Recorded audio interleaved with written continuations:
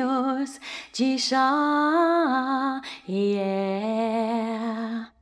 One happy birthday dot com.